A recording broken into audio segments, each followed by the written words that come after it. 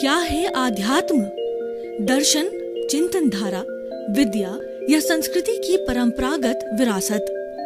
आध्यात्म दर्शन यानी जीवन का शाश्वत सत्य। मानव जीवन से जुड़े शाश्वत सत्यों को जानिए और समझिए उपासक डॉक्टर सोहन राज तातेड़ से। हमारे खास कार्यक्रम आत्मविज्ञान में। आत्मविज्ञान यानी सही दृष्टि, सही सोच। भाई और बहनों, मातृशक्ति को नमन। स्टूडियो में आपका हार्दिक स्वागत है। अभिनंदन, सत्कार, आत्मविज्ञान, साइंस ऑफ़ द सोल कार्यक्रम के अंतर्गत हम आपको सही दृष्टि, सही सोच, राइट थिंकिंग, राइट विजन के तहत आपकी जो नकारात्मक सोच है, जो आप गलत चिंतन कर रहे हो, जो आपका मिथ्यात्व है, जो आपका ज्ञान है, उसको मिटा करके उसकी जगह ज्ञान देते हम करेक्शन देते हैं, हमारा आत्मविज्ञान कार्यक्रम करेक्शन का विज्ञान है और करेक्शन देना बहुत बड़ी बात है। हम करेक्शन दे करके गलत को सही बनाते हैं। जैसे कि टीचर बच्चे का लिखे हुए को को अशुद्ध लिखे हुए को करेक्शन करके शुद्ध करता है तो वही हमारा कार्य है। हमारे पास ना कोई तंत्र है, कोई न न मंत्र है, न कोई जादू है, न कोई टोना है। एक ही काम है कि नकारात्मक सोच को सकारात्मक में बदलो, वही हमारा सिद्धांत है। ये सारा कार्य हम अलग अलग एपिसोड्स चिंतन, विचारधारा के माध्यम से करते हैं। तो आज हम बहुत सुंदर एपिसोड लेकर के आपके सामने प्रस्तुत हो रहे हैं। आज का हमारा एपिसोड है, अभिप्राय ओपिनियन।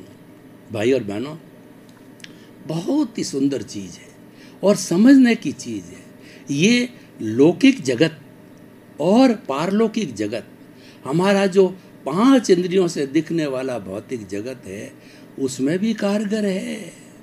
और पारलौकिक जगत, जो आत्मा का जगत है, प्रभु का जगत है, और हम अगले जन्म में जाने वाले हैं मुक्ति को जाने वाले हैं, हम परम सुख को प्राप्त करने वाले, उस जगत के लिए भी आवश्यक है।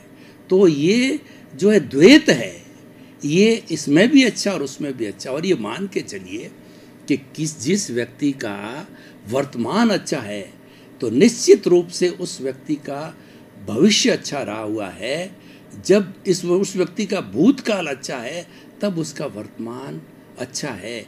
क्योंकि जो वर्तमान है, वह भूतकाल की प्रतिध्वनि है। ध्वनि उसने की थी, भूतकाल के अंदर उसने अभिप्राय भूतकाल में डाले थे। उसने जो ओपिनियन भूतकाल में दी थी और उसने जो है कॉज भूतकाल में डाले थे, उसकी प्रतिध्वनि वर्तमान काल में आपको उदाहरण देना चाहता हूँ। आप किसी खुले कुएँ के पास जाकर के ज़ोर से बोलिए ओम। तो ओम की ध्वनि बाहर आएगी, आपको प्रसन्नचित कहेगी। फिर आप कहोगे, तू नालायक है। तो भीतर से आवाज़ आएगी, तू नालायक है। ये आपको दुखी करेगी। तो ये ध्वनि और प्रतिध्वनि, ये कॉज एंड इफ़ेक्ट ये एक्शन टू द रिएक्शन है, ये प्राकृतिक नियम से संचालित होता है। तो इसीलिए भूतकाल अच्छा है भविष्य काल भूतकाल अच्छा है तो हमारा वर्तमान अच्छा होगा जिसका वर्तमान अच्छा है तो निश्चित रूप से उसको मान कर चलना चाहिए कि भविष्य अच्छा होगा। क्योंकि भविष्य जो है, वह वर्तमान काल की प्रतिध्वनि है। ध्वनि की प्रतिध्वनि एक्शन टू द रिएक्शन है कॉज टू द इफ़ेक्ट ये मान के चलना चाहिए। तो हमें भूत भविष्य, वर्तमान टोटलिटी जिसको हॉलिस्टिक कहते हैं, इसको जोड़ के बात करनी चाहिए। अगर हम खंड खंड में बात करें कि हमारा वर्तमान अच्छा हमें रहना वर्तमान में चाहिए, लेकिन बात टोटिलिटी करनी चाहिए। टोटिलिटी में करने से ही हमारा जीवन बनता है, चरित्र बनता है, और हमको सनातन सत्य मिलता है। हमको कुदरत, कुदरती रचना, कुदरत के कानून के तहत यूनिवर्सल ट्रुथ सार्वभौम सत्य मिलता है। तो भाई और बहनों, अब जो आज का मूल विषय है, ये भूमिका थी। मूल विषय पर आते हैं, अभिप्राय। ओपिनियन अभिप्राय का अर्थ क्या मतलब होता है कि कोई भी व्यक्ति, जैसे एक जुआरी व्यक्ति जुआ खेल रहा है, जुआ में हार रहा है या जुआ में जीत रहा है तो हम रिएक्शन देते हैं उसको देख करके कि कैसा बदमाश आदमी है, जुआ खेलता है, कैसा एकदम थर्ड क्लास व्यक्ति है और ये जुआ क्यों खेल रहा है। अरे, ये तो उसका प्रारब्ध है, ये तो उदय है पहले जुए के भाव डाल के आया पिछले जन्म के अंदर कॉज डाल के आया है और ध्वनि करके आया है, ये जुआरी की प्रति ध्वनि है। तो आप उसमें अभिप्राय क्यों देते हो? आपको अधिक अभिप्राय देने का, उसको जुआरी के ऊपर इतना चिंतन करने का, इतने कमेंट्स करने का आपको अधिकार किसने दिया? जो मूल कुदरत है जिसने आपको जन्म दिया है वो आपको पैदा करने वाली है, वो पालन पोषण करने वाली है और हर कार्य उसके अंदर होता है और अंतिम स्टेज तक आपको जो है, वो संभालती है, मरने तक संभालती है। तो वो ये कहती है कि व्यवस्थित शक्ति कुदरत है। और मैंने जिसको जन्म दे दिया, जो जो मेरी गोद में पल रहा है तो उस, वो व्यवस्थित शक्ति के रूप के अंदर करता मैं हूँ। उसको मैंने किसी भी प्राणी को कोई कर्ता बनने की पावर ऑफ़ अटॉर्नी नहीं दी है, कर्ता बनने का कोई भी मैंने आदेश नहीं दिया है। वो बनता है तो वह उसका अज्ञान है। उसका अज्ञान का फल, उसको मिलेगा फल क्या मिलेगा? जन जन्मांतर के अंदर वो चौरासी लाख जीवा योनि में दुख के कारणों के अंदर घूमता बढ़ेगा। अज्ञान दुख को पैदा करता है। जन्म लेना भाई और बहनों इतना सरल नहीं है। माँ के पेट के अंदर हम नौ महीने उल्टे लटकते हैं। खट्टी मीठी डकारे हैं। और गर्मी और गंदगी, हम प्रभु से प्रार्थना करते हैं मेरे को जल्दी से जल्दी बाहर निकाल, मैं आपको कभी नहीं बोलूँगा आपके भजन करूँगा। तो कितना सुंदर बात जो कबीर दास जी ने कहा है कि सुख में सुमिरन सब करे, और दुख में करे न कोय और जो सुख में सुमिरन करे तो दुख काहे का होए? भैया, सुख और दुख को एक सा मानो। न तो सुख के अंदर फूलना है न दुख में दुखी होना है। एक सिक्के के दो पहलू मानो तो आप स्थित प्रज्ञ बनोगे, आप प्रज्ञा चक्षु बनेंगे। और यही जीवन है, यही संभाव है, और ये जीवन का सार है। जब एक मानने लग जाते हो, सुख, दुख, लाभ, हानि और आपका तिरस्कार, आपका सम्मान, जो सब एक सा मानते हो तो आपको तकलीफ़ होनी नहीं है। आप तो निष्काम कर्मयोगी बन जाओगे। निष्काम कर्मयोगी क्या कहता है? कर्मयोग क्या कहता है? तुम कर्म करो। करना पड़ेगा। जीवन भर एक क्षण भी ऐसा नहीं आएगा कि व्यक्ति कर्म करने से रह सकता है। रात में हम सोते हैं, तब सोते समय भी हमें जो हमारा अवचेतन मन है, वो बहुत सपने दिखाता है। इसका मतलब वहाँ भी आप कर्म कर रहे हो, क्योंकि आप लेके आए हो। इसलिए कर्मों से आज व्यक्ति एक सेकंड, क्या सेकंड के हजारवें भाग में भी वो बिना कर्म के रह नहीं सकता। जब बिना कर्म के रह नहीं सकता तो कर्म कैसे करें ये तो समझो। भगवान कृष्ण कहते हैं, निष्काम कर्म करो। कर्म करते रहो। ये आपका प्रारब्ध है, उदय है, आपको करना पड़ेगा, लेकिन फल की इच्छा मत करो। ये आपका चिंतन है तो ये आपकी स्वतंत्रता है। आप फल का चिंतन करते हो तो दुखी हो जाओगे, क्योंकि फल अच्छा भी मिल सकता है बुरा भी मिल सकता है। कर्म तो है, आप स्वतंत्र हो, आपको करना पड़ेगा, लेकिन फल आपके हाथ में नहीं है। तो भाई और बहनों, हम अभिप्राय देते हैं व्यक्ति के बारे में कि ये बदमाश है ये जुआरी है, इसकी संगत अच्छी नहीं है, ये शराबी है और ये जेब कतरा है और ये जो है, वो कहना चाहिए कि ये पशुओं की हिंसा करने वाला कसाई है।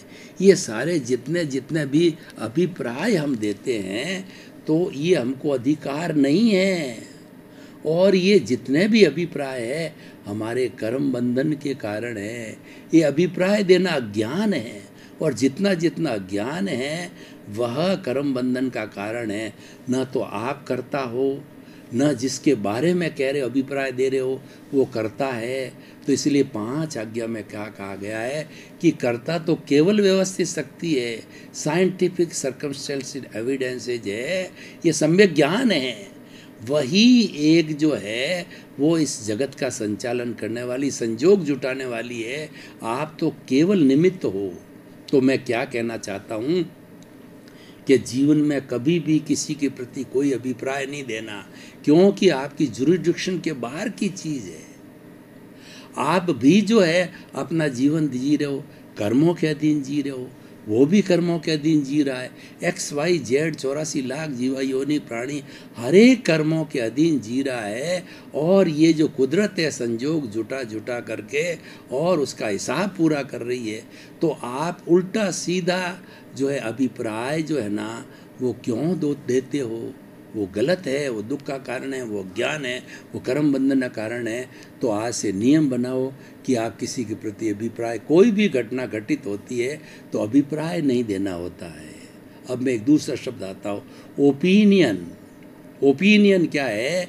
कि जो है, जैसे मान लीजिए, भारत के प्रधानमंत्री है या कोई मिनिस्टर है, मान लो, छोटे तौर पर मान लीजिए तो कोई भी व्यक्ति मिनिस्टर है तो उसके प्रति ओपिनियन बनाते हैं कि किसी समय वह जो है उसने घूस ली होगी तो एक बार घूस ले ली तो हम ओपिनियन बना देते हैं कि फला व्यक्ति घूसखोर है, फला व्यक्ति भ्रष्टाचारी है और जीवन भर उसकी ओपिनियन हम यही रखते हैं, कोई चेंज नहीं करते हैं। उसने तो पर्टिकुलर समय के अंदर, लेकर के और बाद के अंदर अपना शुद्धिकरण करके, और जो बाद में वो ईमानदार बन गया। वह व्यक्ति था, वह ईमान था, लेकिन व्यक्ति तो हर वक्त बदलता रहता है। क्योंकि प्रकृति का बदलना ही प्रकृति का नियम है, हर क्षण हर वस्तु बदलती है। तो मनुष्य भी वस्तु में आता है तो वो बेईमान से ईमानदार हो गया। लेकिन हम तो आज तक ये ओपिनियन दे जीवन भर ये ओपिनियन दे के रखते हैं और हर क्षण उसकी यही बात करते हैं, वो तो बेईमान है, वो तो बेईमान है, वो तो बेईमान है।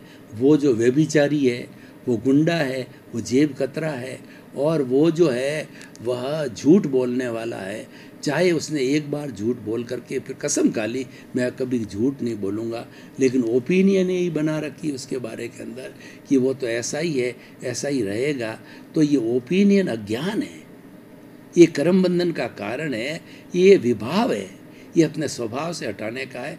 ये हमारी पावर में नहीं है, ये हमारे जुरिस्टिक्शन में नहीं। हम तो निमित्त हैं। हम ये ये अभिप्राय ओपिनियन कौन दे सकता है? जब कोई करता होता ना, वही दे सकता है। और मनुष्य तो करता है ही नहीं है। और कर्ता भाव रखना सबसे बड़ा जो है, कर्म बंधन का कारण है, वो वेल्डिंग है।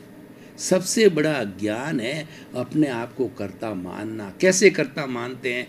ये मकान मैंने बनाया, ये घर मैंने बनाया बच्चों को जन्म मैंने दिया, बच्चों को I S I P S मैंने बनाया, इनकी शादियाँ मैंने की और इनके लिए इतने, इतनी प्रॉपर्टी की व्यवस्था मैंने की, इनको पाला पोसा मैंने। अरे भाई, बहुत से संजोग मिल के पाल पोस, उसके भी कर्म हैं। तुम तो एक निमित्त ज़रूर बने हुए देखिए, मैं आपको निमित्त और कर्ता की बात बताना चाहता हूँ। उस उदाहरण से आपको क्षीर नीर का विवेक हो जाएगा। आपको रियल टुथ सनातन सत्य मिलेगा। देखिए, मुझे एक बढ़िया मसालेदार एक कप चाय पीनी है तो मैं क्या करूँगा? दूध लूँगा, चाय लूँगा, उसमें चीनी डालूँगा और मसाला डालूँगा, फिर उसको अग्नि पे रखूँगा और फिर मेरे हाथ से जो है, वह उसको भगोले को हिलाऊँगा। चार पाँच उफान आएँगे। उफान आने के बाद में सारा मिक्सिंग अच्छा हो जाएगा। फिर उसकी एक बढ़िया चाय मैंने कप में डाल के पिया और मैंने कह, मैं कहने लगा, मैं अहंकार करने लगा, चाय मैंने बनाई। तो मैं भैया कहना चाहता हूँ कि अगर दूध नहीं होता, पत्ती नहीं होती, चीनी नहीं होती, अग्नि नहीं होती, भगोला नहीं होता तो आप अकेले हाथ हिलाने से क्या चाय बन जाती? इसका अर्थ क्या हुआ कि दस लोगों ने, दस निमित्त ने मिल करके एक कार्य किया। उसमें से तुम एक निमित्त हो, तुम तो दस ही निमित्त बनना चाहते हो। संभव नहीं है। आप मकान बनाते हो तो आप तो केवल एक निमित्त हो। मकान में कितनी चीज़ चाहिए? रोड़ी चाहिए, पत्थर चाहिए, सीमेंट चाहिए, और हमारी पट्टियाँ चाहिए आरसीसी चाहिए, वुड चाहिए। कितनी कितनी चीज़ों से जाकर के मकान बनता है। और आप कहते हो मकान मैंने बनाया, मैसन चाहिए, और और जो है वो वो मज़दूर चाहिए। तो इतने लोगों ने मिल कर के मकान बनाया है तो आप अपने आप को कर्ता मानते आप एक निमित्त मानो। इसलिए एक आप अपने नियम बना लो। अगर आपको अच्छा जीवन जीना है, आपको अज्ञान से हटा करके ज्ञान को प्राप्त करना है, आपको मुक्ति की ओर जाना है तो जो पाँच आज्ञा मुक्ति में ले जाने वाली है, उस पाँच आज्ञा का जो तीसरा सम्य ज्ञान का जो है कि कर्ता व्यवस्थित शक्ति है। मैं करता हूँ नहीं, हो नहीं सकता। बिल्कुल अपने आप को कर्ता पे क्रॉस लगा दो। No no honour. And no doer न तो किसी चीज़ के ऑनर बनो, घर के मकान, शरीर के भी ऑनर नहीं। मैं आपसे पूछना चाहता हूँ, क्या ये शरीर के आप मालिक हो? आप मालिक हो तो इसको साथ क्यों नहीं ले जाते हो? यहीं छोड़ के जलने के लिए क्यों जाते हो? आप मालिक नहीं हो। जब शरीर के ही मालिक नहीं हो तो आप प्रॉपर्टी के मालिक कैसे हो सकते हो? इसलिए अपने आप को कभी कर्ता मत मानो। तो ये कर्ता भाव से ये ओपिनियन और ये अभिप्राय बनते हैं तो ओपिनियन और अभिप्राय बहुत घातक है। इसीलिए आप जीवन के अंदर अपना एक अच्छा नियम बना लो। अगर मुक्ति को जाना है तो मैं किसी के प्रति अभिप्राय ओपिनियन नहीं दूँगा। किसी के प्रति ओपिनियन मैं बना के नहीं रखूँगा। ठीक है, वो व्यक्ति जैसा है, आप एक बार अपना देख लिया न्यूट्रल हो गए। क्योंकि ज्ञाता दृष्टा तो हो ही आप। तो ज्ञाता दृष्टा में जानना और देखना, यहाँ तक तो ठीक है, लेकिन जो ही उसके साथ के अंदर आपने राग द्वेष को जोड़ा, जो हमारा अज्ञान क्या है, ये अज्ञान एक ही चीज़ अज्ञान है, वो राग और द्वेष। राग द्वेष से मुक्ति, सच्ची मुक्ति है। राग द्वेष ज़ीरो करने से बाद में ही आप सिद्ध बुद्ध मुक्त बन सकते हो, और राग द्वेष को कब जीता जाता है? संभाव से। संभाव क्या है कि राग और द्वेष को पनपने नहीं देना, सबको एक मानना। देखिए, हमारी दो आँखें, एक राग की आँख, एक द्वेष की आँख ये कहती कि ये अच्छा है, दूसरा कहती ये बुरा है, ये कहती कि मीठा है, ये कहती ये खारा है, ये कहती कि इसको खा लो, ये कहते है खाने योग्य नहीं है। इस तरीके से बुद्धि हमको भटकाती है, बुद्धि हमको राग द्वेष के अंदर ले जाती है, बुद्धि हमको संसार के अंदर रुलाती है, चौरासी लाख जीवनी में रुलाने वाली यही बुद्धि है। तो इन दो आँखों के से अगर आपको ज्ञान लेना है, ज्ञानी पुरुष बनना है, क्योंकि आपका लक्ष्य मुक्ति ही है। मैं जो बात कर रहा हूँ, लक्ष्य के साथ बात कर रहा हूँ, मैं आपको करोड़पति, अरबपति और बड़ा प्रधानमंत्री, राष्ट्रपति बनाने की बात नहीं कर रहा हूँ, मैं आपको इलेक्शन में जीताने की बात नहीं करा रहा हूँ। मैं जो बात कर रहा हूँ कि मुक्ति में कैसे जा सकते और ये बात क्यों कर रहा हूँ? ये मैंने आत्मविज्ञान कार्यक्रम क्यों लिया कि ये बात मनुष्य ही कर सकता है? कोई भी प्राणी ऐसा नहीं है मनुष्य के अलावा जो कि सम्यक दर्शन, सम्यक ज्ञान, सम्यक चारित्र और सम्यक तप, यानी पाँच आज्ञा का पालन मनुष्य ही कर सकता है। पशु नहीं कर सकता। पशु है छोटे छोटे त्याग कर सकते हैं, शौक बन सकते हैं। मान लिया है, क्योंकि उनका लिमिटेड उनका, उनके पास में डेवलप्ड बुद्धि डेवलप्ड मन और डेवलप चित्त और डेवलप अहंकार नहीं है। और अहंकार भी दो तरह का होता है। एक पॉजिटिव अहंकार होना चाहिए। पॉजिटिव अहंकार आपको आगे बढ़ाता है। आपको अपनी मर्यादा में रह करके आपका डेवलपमेंट विकास करता है। लेकिन नेगेटिव अहंकार, जो रावण का अहंकार था कि वो सबको निम्न समझता था। तीन लोगों का नाथ अपने आप को मानता था और किसी को कुछ नहीं समझता था। वो नेगेटिव अहंकार रुलाने वाला, डुबाने वाला है। तभी रावण की जो है इतना बड़ा ज्ञानी, वेद मर्मज्ञ और शिव का भक्त और इतने बड़े वरदानों को प्रका प्राप्त करने वाला भी वह जो है राम के हाथों मारा गया, क्योंकि वो अधर्म पर था वह अज्ञान पर था। इसीलिए अज्ञान है राग, द्वेष। इस राग द्वेष को पाटिए, राग द्वेष को जीतिए और राग द्वेष को जीतेंद्र बनने पर ही आप जो है, वो केवल ज्ञानी बनते हो। 360 डिग्री तक पहुँचते हो और 360 डिग्री पर पहुँचने के बाद निश्चित रूप से सिद्ध, बुद्ध और मुक्त जो चौदवा गुण स्थान पर आकर के आप पहुँच सकते हो। तो भाई और बहनों, मैं इस पूरे विषय को जो है, आज ओपन टू दी ऑडियंस करता हूँ। आपके सजेशन और आपका चिंतन और आपका प्रश्न, आपकी जिज्ञासा, आपका सुझाव चाहता हूँ तो सब कुछ ओपन करने के बाद मैं निष्कर्ष पर पहुँचता हूँ कि अगर व्यक्ति ओपिनियन और अभिप्राय, ये दो बातों को छोड़ दे। मैं ये नहीं कहता हूँ आप किसी से बात मत करो। आप किसी भी व्यक्ति से बात हमको करनी पड़ेगी और हमारा प्रारब्ध उदय है, वो तो हमें जिस व्यक्ति के पास जाना है, वो जाना ही पड़ेगा। और देखिए हमारे घर में भी देखिए कि हमारे पत्नी होती है, बेटे होते हैं, बहुएँ होती है, पोते होते हैं, पोतियाँ होती है और वो जन्म भर, पत्नी है वो जन्म भर साथ रखती है। ये फ़ाइल नंबर दो है। तो ये जितने भी हमारे घर में आए हैं लोग बाग और जो कि 24 घंटे हमारे साथ में रहते हैं या जीवन काल में सबसे ज़्यादा समय तक हमारे जुड़े हुए होते हैं तो ये कोई तो लेने आया है और कोई देने आया है।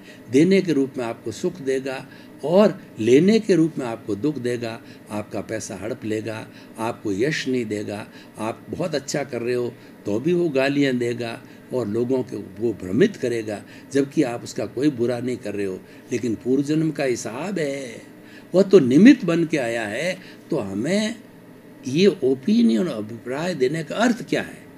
ये मतलब ये हम कुल मिला के निष्कर्ष की बात है कि हम किसी के अंदर दोष नहीं देखें। ये संपूर्ण जो जगत है, वह निर्दोष है। ये संपूर्ण जो है, वह सारा ब्रह्मांड है, वह निर्दोष है। और चौरासी लाख जीवा योनिया मेरे लिए निर्दोष है। तो दोष कहाँ है? दोष मेरे भीतर, उस कौशल बॉडी के अंदर दोष है। उस जो कर्म शरीर में, उसके जो लिंग शरीर के अंदर और जो पुलिंदा है कॉजेज का, दोष वो है जो मैंने खड़े किए जन्म जन्मांतर के अंदर। कॉजेज डाल करके तो कबीरदास जी ने बहुत सुंदर कहा है कि बुरा जो देखन मैं चला और बुरा न मिलिया कोय, जो दिल खोजा आप ना और मुझसे बुरा न कोय। कबीरदास जी एक बार पेपर और पेन लेकर के निकल पड़े कि मैं लिस्ट बनाऊँ कि दुनिया में, कितने लोग बुरे हैं और कितने अच्छे हैं। कबीरदास जी घूमते रहे घूमते रहे। कई दिन घूमने के बाद उनको एक भी व्यक्ति ऐसा नहीं मिला जो बुरा हो। जब उन्होंने भीतर झांकना शुरू किया, उन्होंने देखा कि बुराई की जड़ तो ये रही। बुराइयों का भंडार तो ये भरा पड़ा। बुराइयों का ये वेयर हाउस है। तो मुझे उसको साफ़ करना है, जो कई जन्मों से इकट्ठी की हुई अवचेतन, जो हमारा अचेतन मन है, हमारी भावना है, हमारा आठ कर्म है, जो लिंग, शरीर या कॉजल बॉडी है, उसकी एक सौ अड़तालीस प्रकृतियाँ है। तो उसके उसके मैं डिटेल में नहीं जाना चाहता हूँ। तो ये उस रूप में, दोषों के रूप में इकट्ठे हुए हैं। तो ये किसी पर किसी पर ओपिनियन देना, किसी पर अभिप्राय देना, इसका मतलब उसको दोषी बताना, उसको कर्ता बताना। दोषी और कर्ता भाव, ये दोनों आपको पावर नहीं है। दोष देखने हो तो अपने देश को देखो गुण लेने हो तो दूसरे से दो। देखिए, मैं ये अंगुली एक आपकी तरफ़ करता हूँ तो ये अंगूठा और तीन अंगुलियाँ मेरी तरफ़ होती है। वो ये कहते हैं, तुम किसी के दोष दे रहे हो, अंगुली निर्देश कर रहे हो, खुद के अंदर भी तो झांको। तुम्हारे में तो उससे चार गुना दोष है, वो देखो ना। भला तुम्हारा उन दोषों को शुद्ध करने से होगा। अगर दूसरे के दोष देखोगे तो तुम्हारे दोषों के साथ में ये जुड़ जाएँगे और तुम्हारे दोष का घनत्व बढ़ जाएगा। घनत्व बढ़ जाएगा, इसका मतलब तुम ज़्यादा चौरासी लाख जीवा योनि में घूमते रहो। जो मानव जीवन में ना है कुछ सीखना है, कुछ लेना है, कुछ ज्ञान देना है तो इसको डाउन करो। भाई और बहनों, आपका बहुत बहुत धन्यवाद। आप हमारा आत्मविज्ञान कार्यक्रम बराबर देख रहे हो। देखते रहिए, देखते रहना चाहिए। क्योंकि इसमें बहुत सुंदर सुंदर बातें आपके हाई लेवल की, आपको अच्छा इंसान बनने के सूत्र और आपके टिप्स और आपकी शिक्षाएँ मिलेगी।